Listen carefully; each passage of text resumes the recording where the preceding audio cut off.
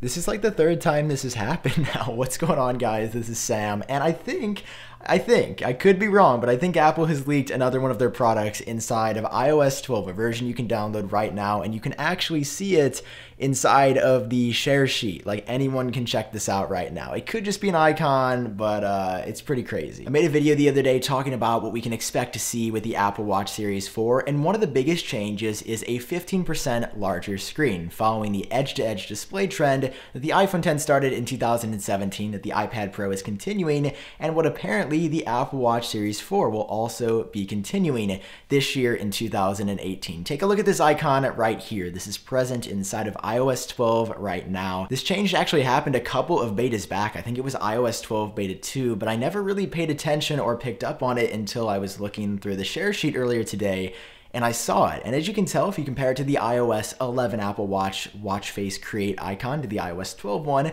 it does look a little bit different. Now, Apple does routinely update their icons, and I think without question, this was just part of Apple's new design language for the Apple Watch icon. A number of these share sheet icons have changed in iOS 12, and this was just a part of it. But if you compare these icons, one features thicker bezels, and the other one features slimmer bezels. And everything sources have been reporting have said the Apple Watch Series 4 is going to see a pretty big design update. While the body of the device will likely stay the same, the screen inside of that body is likely going to expand. And based on this icon, that's exactly what it looks like. Now, if Apple just created this as a new icon, or if this was them sort of leaking the Apple Watch Series 4, we won't ever know for sure, especially because this one is, is user facing. Like anybody running iOS 12 right right now, private or public beta, can go ahead and see this icon. But it definitely lines up with everything we've been hearing, and considering the fact that Apple has included images hidden deeper inside of iOS 12 of the new iPad, of the brand new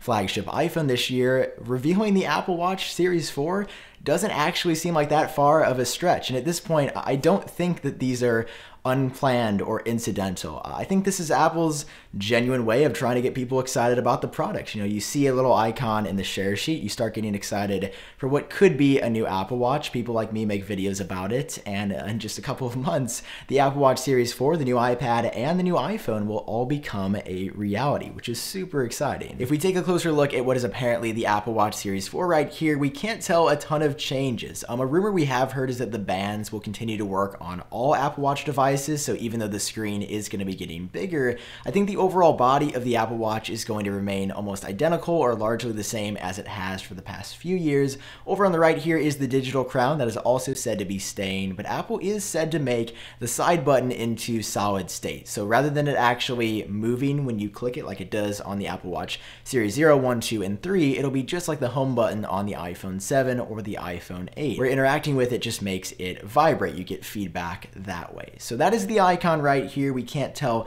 much else from this, but there is still clearly a band connected. You still have the digital crown, and this pretty much just lines up with what we're expecting the Apple Watch Series 4 to look like. But as always, I want to hear your thoughts on this down below. Do you think this is nothing more than an icon? Apple just updated it, it doesn't mean anything? Or do you think this is them revealing the Apple Watch Series 4 a couple weeks ahead of when we actually are going to see the product for ourselves. It could go either way, but considering their recent history with the iPhone and the iPad icons, I'm definitely leaning toward the fact that Apple probably revealed the Apple Watch Series 4 here. So let me know what you think about this down below and whether or not you're going to be picking up any new products in September when Apple is likely going to be holding uh, their September event for new iPhones, new iPads, and new Apple Watches. That's all for this video though. Hit like down below if you enjoyed it, subscribe for more. I've been Sam, I hope you're doing great, and I'll talk to you in my next video.